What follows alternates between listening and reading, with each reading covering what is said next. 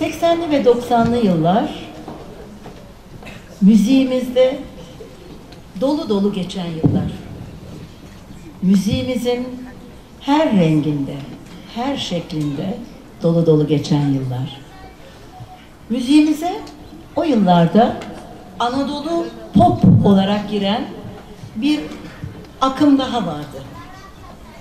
Barış Manço ve Cem Karaca en önemli isimleri. Onları takip eden ama maalesef çok genç yaşta kaybettiğimiz sanatçılarımız da vardı.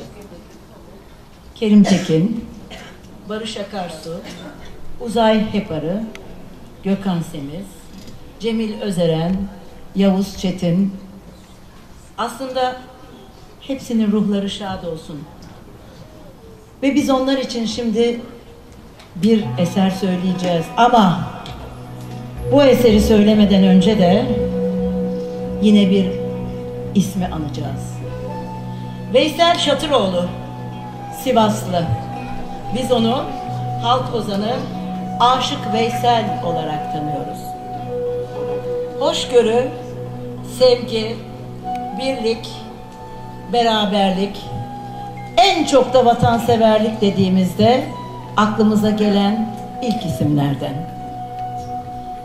1973 yılında kaybettik ama 2022 yılında Cumhurbaşkanlığı Kültür ve Sanat Büyük Ödülü verildi Aşık Veysel'e ve onun çok sevilen bir eseri.